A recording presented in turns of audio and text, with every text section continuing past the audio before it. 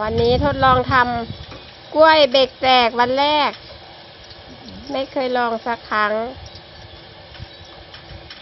มันก็จะออกมางิกงิกงองอ